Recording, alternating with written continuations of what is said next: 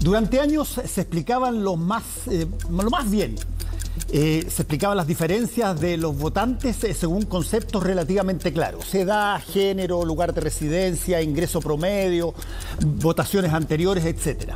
Desde hace algún tiempo se castellanizó del inglés la palabra cleavage para que naciera el clivaje que es más o menos el grado de cercanía que los votantes tienen a temas o condiciones eh, específicas dentro de los votantes de un partido o cómo se distribuyen religiosamente o de acuerdo al pasado, frente al tema plurinacional, etc. Y entonces el clivaje adquirió categoría de concepto recién llegado con apoyo académico y ¡boom!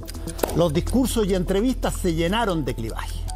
Hoy parece que estamos ante el nacimiento de otro concepto que queriendo decir mucho, dice muy poco. Los bordes.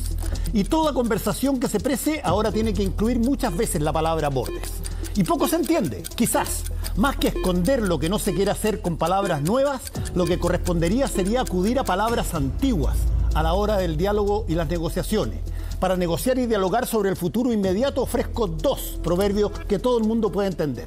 Uno de la antigua Roma sobre lo importante de construir bases sólidas y amplias para que quepan todos.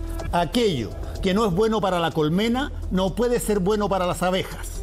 Y otro, un proverbio japonés que vale más que un millón de discursos sobre voluntad política. Quien quiere hacer algo, encuentra un medio. Quien no quiere hacer nada, encuentra siempre una excusa. No hay que buscar tan lejos ni ir a los clivajes. Nos vamos. Que les vaya muy bien, muchachos. Buenas, noches. Hasta luego. Chao.